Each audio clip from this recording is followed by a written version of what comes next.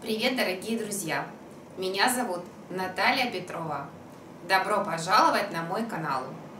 Сегодняшней нашей темой будет Future Perfect Tense. Будущее завершенное время. Приятного просмотра! Future Perfect – это будущее завершенное время. Обозначает действие, которое совершится к определенному моменту в будущем. We will have talked to him. Мы поговорим с ним.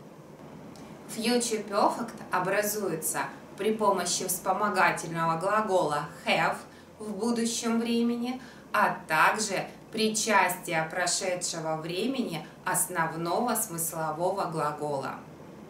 Глагол have в будущем времени имеет единственную форму will have, которую мы будем использовать со всеми лицами.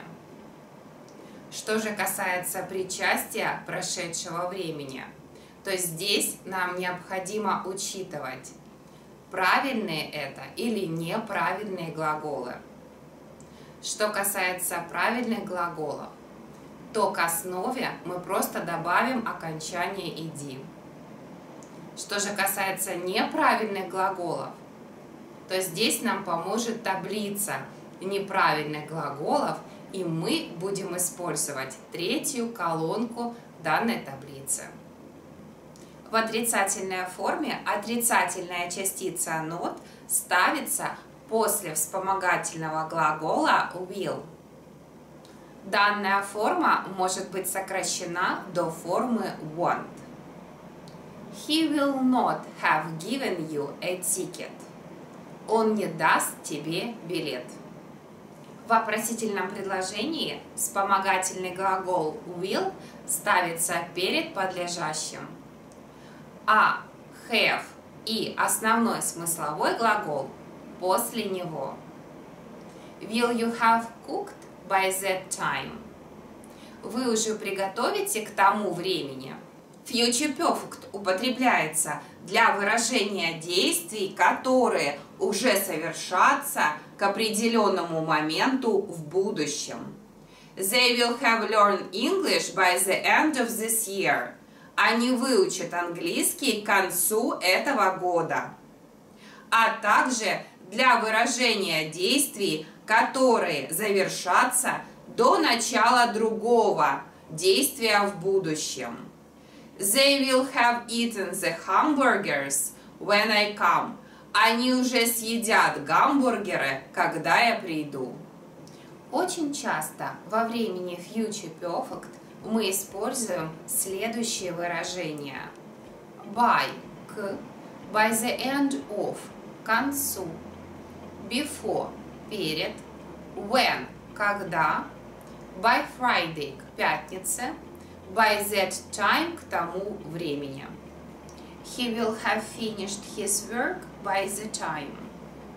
Он закончит эту работу к тому времени. We will have left the classroom by the end of the hour. Мы покинем эту аудиторию к концу этого часа. They will have bought the house by December. Они купят дом к декабрю. Давайте рассмотрим разницу между future perfect, future simple и future continuous. На примере одного предложения, которое мы будем использовать в трех временах. Future simple. I will clean the house. Я наведу порядок в доме.